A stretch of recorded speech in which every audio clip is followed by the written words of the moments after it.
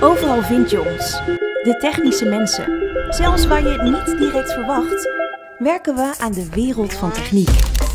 Om ons te herkennen moet je weten waar je op moet letten. We stellen vragen, we onderzoeken, we testen en begrijpen. Onze ideeën beginnen klein, maar worden groots uitgerold.